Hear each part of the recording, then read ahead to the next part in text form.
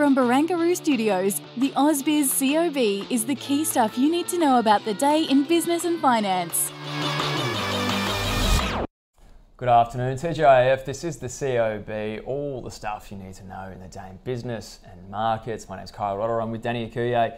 Uh, let's see where we've closed the session, Danny, because it's been a pretty, well, dour week is the, the term that I've been um, using, but well, finished maybe on, on a slight high, up 0.3% for the session. Yeah, it looks like that way for the Cboe 200, ASX 200, maybe up five points, so pretty much mm. flat uh, at the moment. But we'll see how it updates over the course of the next 20 minutes. We really need to get to the bottom of uh, where the differences are in the composition of those two indices because there's every so often there's just a day they where align, it's just yeah, dong, and then other days they're like. There just must be one stock that's just the swing factor there. I don't know what it is, but anyway, you can see there that uh, we are. Which is a bit bizarre, isn't it? Because anyway. It's a big difference, but we'll, we'll, try and work it out for you because I'm sure there's some curious people at home as well. But um, let's just get now to the three themes for the day. And um, well, there's a few things going on out yes. there, but um, bond yields bite. Mm. A few factors I think that driving that story this week. But nevertheless, the fact of the matter is we've seen this big run up in long-term rates that's uh, probably put some pressure on equity valuations, at least caused a few dislocations in the short term. And well, some steam coming out of this rally on Wall Street and obviously in uh, Australian stocks as well. Yeah, it looks like a little confluence of factors yeah. going on. And, and the big investor, Bill Ackman, of course, has come out and said he's shorted 30 year US treasuries. Oh, Bill. Who knows? Yeah. Who knows? But at the end of the day, 4.19% on the two, the 10 year. Mm-hmm. And of course, people go, well, this is the highest it's been since ooh, October 2022. So, yeah. look, you know, sometimes whether or not it's what's going on in the markets, whether it's the MOVE index, the bond volatility moving index, sometimes yeah. people just want to take some money off the table, take the profits. Yeah, and you know, sometimes it's the rate of change, isn't it? I mean, again, stocks have run up very, very aggressively. Like and, crazy, um, yeah. Bonds have moved really quickly. You know, yeah. people have to sort of reposition, reallocate, and that can sometimes come with a little bit of volatility. So it's nothing mm. extreme, at least for now. So we'll just keep an eye on that theme. But um, a few other things today as well. Back to target by 2025. Mm. The RBA Statement of Monetary Policy mm-hmm. released today, and uh, we got an extra six months of forecast from the central bank going out to the end of 2025. Mm-hmm. And lo and mm-hmm. behold, that's when they reckon inflation will get back no, miraculously. Yeah, exactly. I just, think it's uh, such a bizarre thing. Oh, yeah. Oh, we'll just get the fuck woof. yeah, there we go. I, it was a good quote that Stephen Koukoulas shared once was that. Uh, channeling Glenn Stevens and something he said is that uh, you should see the forecasts not as what the RBA thinks will happen, but what as, they won't. as a statement of intent. Because if they're not setting policy right, it means that you know they wouldn't be getting to, to that direction because that's where they want to go. So. Yeah. Anyway, um, that's uh, more or less what we learned from the song. There wasn't actually that much there in terms of market moving news. Um, but in terms of stocks, and I think this sums things up a little bit, not entirely because Amazon shot the lights out, but it would seem, but falling short of a high bar, we did have the likes of ResMed, uh, mm. Block, even Apple to an extent, yeah. where you know it was hard another, to, to another quarter of declining revenue growth, and mm. they're forecasting another quarter right. of uh, revenue contraction of three percent. Um, you know, it's well, you know, it's debatable. I mean, other things are, are positive and mm. driving the bottom line, but revenues are still shrinking. Yeah, interesting. Uh, did you get across? Because I know you're, you're, you're pretty um, keen to, to get up bright and early in the morning and you know you flick on your news and the Wall Street close and Amazon reported as well, up 7% or so uh, after yeah, hours. Yeah, I was reading some different stuff, but it looks like um, AWS is slowing. So that yeah. was the trend that you saw with Microsoft. Um, yeah. But also on all that investment in mm. logistics mm. and everything has started to pay off. I also read that there was some strange stuff going on with depreciation because they've okay, extended. Some accounting tricks. I, I did read that, yeah, and then right. I went back to try and look at it again. So it looks like they've decreased the amount of depreciation on on their computers, which I was assume they were referring to um, the AWS stuff. Um, yeah, right. Yeah, from well, increased it. Sorry, from four to five years. So in doing that, obviously your depreciation charge comes down. Yeah, okay. So mm. devil's in the detail, perhaps. Mm. Nevertheless, it was up after hours and maybe supporting just a little bit. Uh, futures, US futures uh, in after hours trade briefly anyway. We'll have to see how we wrap up the end of the week. There's still a lot to go ahead. Uh, we spoke about ResMed before. Um, the news there was a noteworthy 18% rise in revenue, amounting to $4.2 yep. billion dollars for the entire financial year. Um, but falling short perhaps of a reasonably high bar once again. And um, as I understand it too, ResMed has a bit of a history of missing expectations. Yeah, it does. I've, I've noticed over the last few quarters it definitely gets slammed. But the, the, the issue there is that margins, the gross margin continues to come under pressure.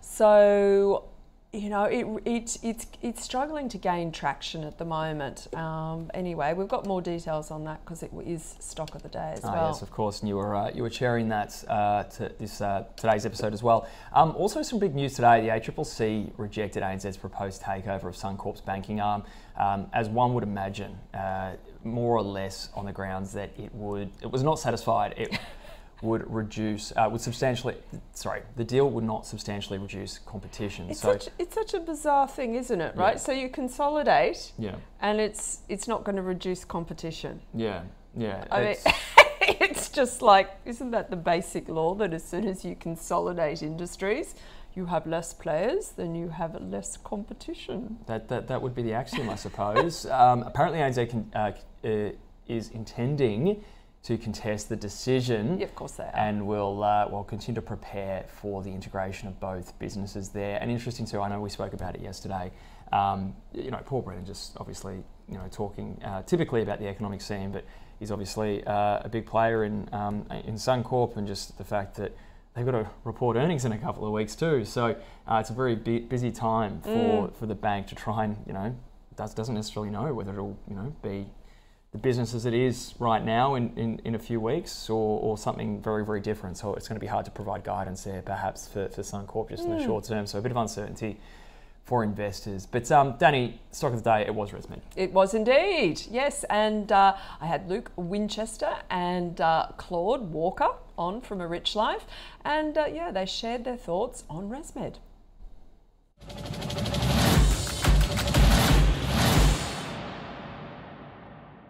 I, I, think as a business, the outlook is still, you know, quite good. Top line revenue growth was still 23%, still really strong.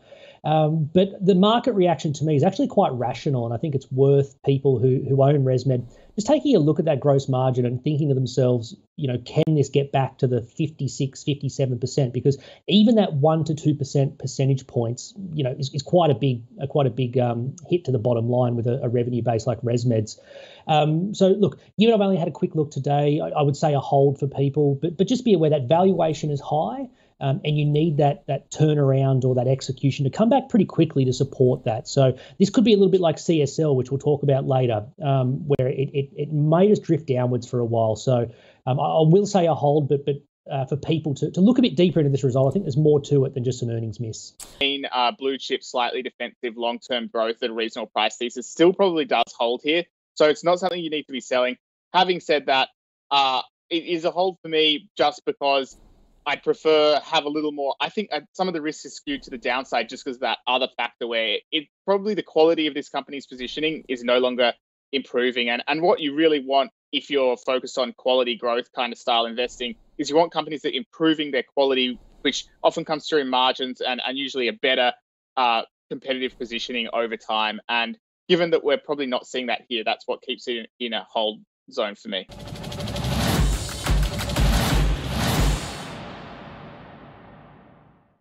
So a couple of holds there. A couple of holds, absolutely. Okay. Yep. Well, there you go. That's uh, the call there on ResMed. But let's get to our guest for the episode now. And I'm glad to say to wrap up the week for us, George Boubouras from K2 Asset Management is standing by. George, uh, great to see you. I hope you've had a wonderful week. Um, I mean, it's hard to go past the ructions, if you will, in the bond market uh, this week as you know reasons for, for fairly significant volatility in equities, or at least a little bit of a pickup.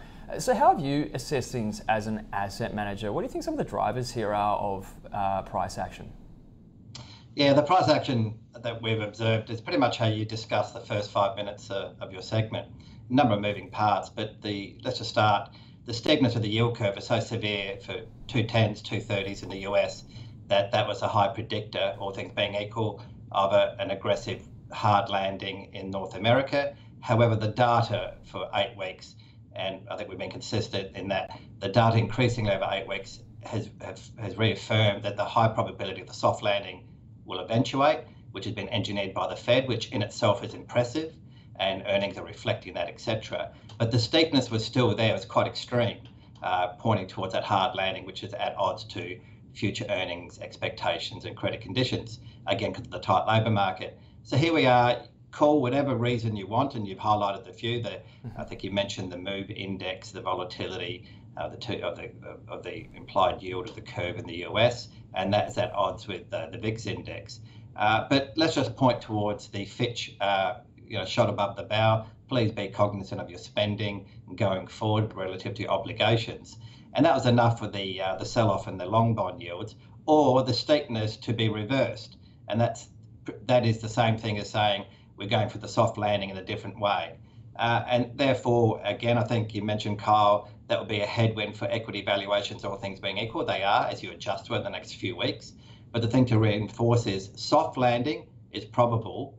Therefore, soft landing equals higher cash rates in the US, Europe, UK, and Australia for longer. Pricing in a rate cut is very drives a good equity valuation, but don't expect the rate cuts to come anytime soon. They've got to do a bit more demand destruction inflation is tamed, keeping inflation index around the same in the US, sees things fall towards the band by next year. So it's all working its way, and it's just a bit of a readjustment, a recalibration there. So that's how we look at it. So cautiously optimistic as we have been through this this rally since uh, October of last year, because there's more predictability. Soft landing again equals higher cash rates for longer, and again uh, the yield curve uh, reversing that extreme steepness suggests that is now going to be more predictive of that soft landing, more in line with the equity market. But it's all uneven, remember. Mm.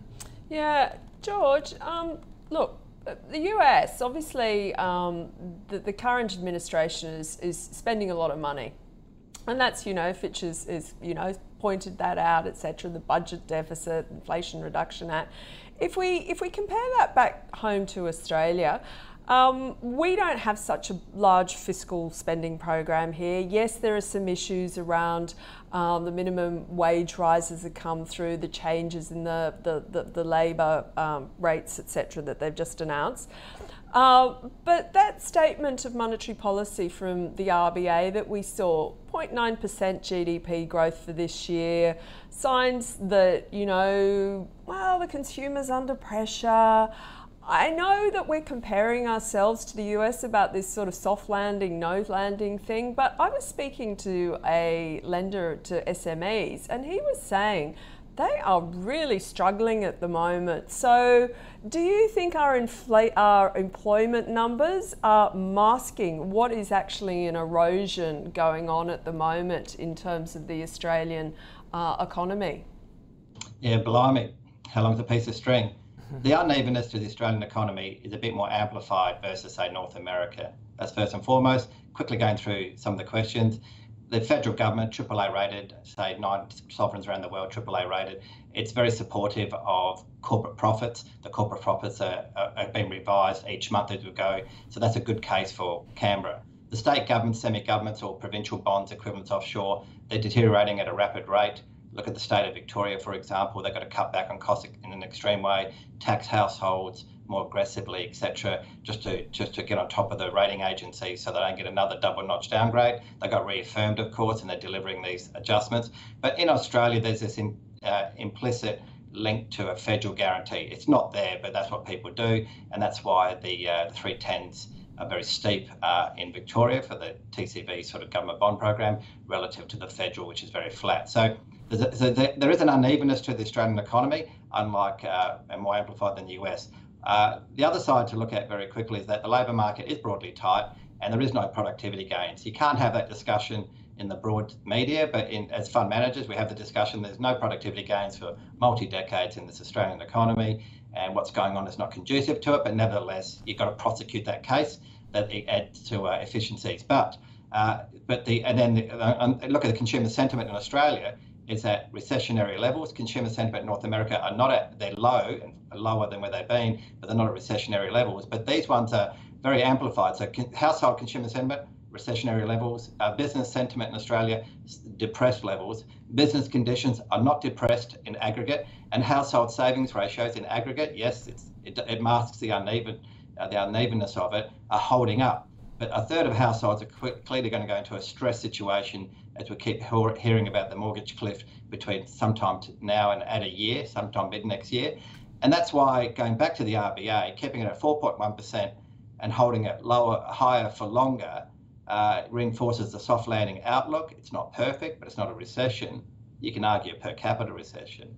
Uh, but in there, there's enough aggregate earnings to go into your portfolios to reaffirm uh, as the demand destruction continues. So again, higher for longer, soft landing in Australia, and the wealth effect for some households get worsens, all things being equal. But then having said all of that, you wouldn't you wouldn't what I've just said in the last two minutes, you wouldn't touch consumer discretionary, but JB Hi-Fi will find a way to extract good value for shareholders within that. You can still find uh, gems within something that's quite distressed with unevenness in there. So I've said a lot again, uh, but again, it, it reaffirms that we've always been for the soft landing narrative, and that's more predictive. If it's more predictive where we were, you should price earnings a bit more comfort one year forward in credit conditions and therefore that soft landing equals that just just high discount rates. We've got higher headwinds with our equity valuations relative to where we were before the rate rises, and just get comfortable to about that that messaging and that story.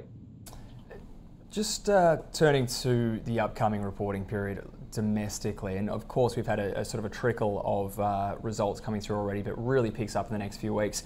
Uh, we talk about valuations and sort of companies maybe in the States having trouble meeting the higher bar set, especially in the tech sector. I, I did notice though that multiples, at least trailing price to earnings in the ASX 200, is actually below uh, 10 year averages or so, which would be sort of suggestive of a market that's, you know, discounting perhaps weaker growth going forward. So, I mean, where are we set up going into this reporting period locally? I mean, do we face maybe the reverse situation that, you know, already maybe a lot of bad news is priced in or a lot of pessimism? So, you know, perhaps we can hope for some upside here. What's what's your view? Yeah, a, a good question. The relativity of earnings in Australia relative to the US is a bit more depressed. Again, uh, link, linking to the sentiment indicators in Australia relative to the sentiment indica- indicators in the US.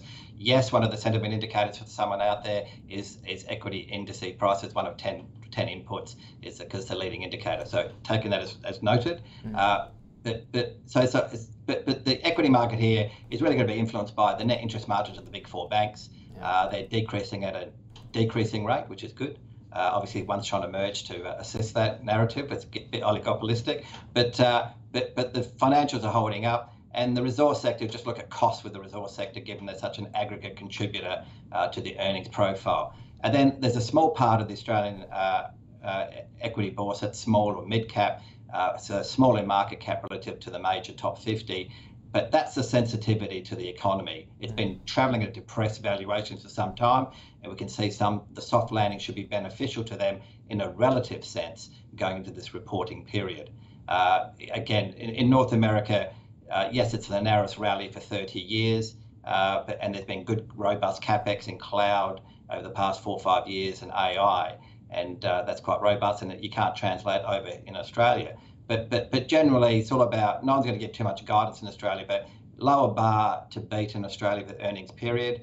Again, re- reinforcing business and household sentiment, consumer sentiment is much lower here relative to the US. Uh, but I think uh, they'll steer through it.